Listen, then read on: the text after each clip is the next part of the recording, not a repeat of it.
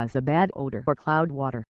If you think your nitrate is high or you test the water and confirm it is, then you should lower the levels before fish begin dying off. Feed your fish the correct amount. The number one reason for high nitrate levels in a tank is overfeeding. Make sure your fish finish their food in 2 minutes or less. You may want to feed your fish twice a day instead of dumping the large amount in once a day.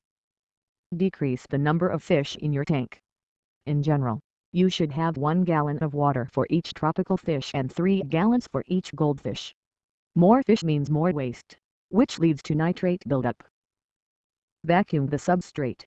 Waste collects in the rocks, so you need to use an aquarium vacuum to clean out the gravel. Also, clean the tank walls and decorations at this time. Replace filter cartridges, which may be holding decaying food and waste in your tank, raising the nitrate levels Increase the overall aeration by cleaning filters or adding additional pumps or hoses. This should lower your nitrate level. Change the water after the test for high nitrate levels.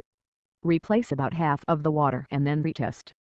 In general, you should replace about 20% of the water every two weeks to keep nitrate levels from building. Add 50 mg of aquarium salt per gallon of water in your freshwater tank. The salt will not harm the fish and will be removed during water changes. Test the water 24 hours after changing the water.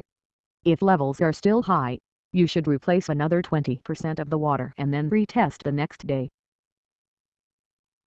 Continue small water changes each day until nitrate levels drop below 50 ppm. Anything over 60 ppm is considerably too high and may lead to a bloom that causes cloudy water.